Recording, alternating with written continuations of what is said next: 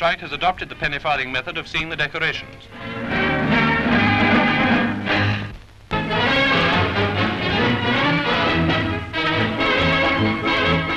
On the eve of coronation, it's a London transformed by decoration that meets the gaze of visitor and resident in every street, along the Mall and the coronation route to Parliament Square.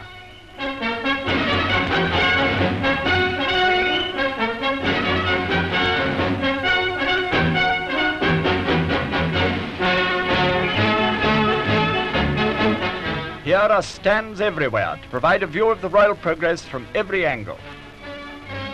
Bond Street and along Oxford Street where the big stores compete in a riot of flags, floral designs, streamers and every symbol of coronation. Some are on a monster scale, a continual source of attraction for sightseers who are astonished at the size and abundance of the display.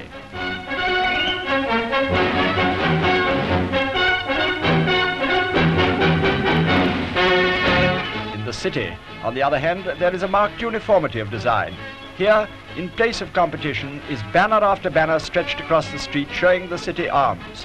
A London transformed from the palace to St. Paul's.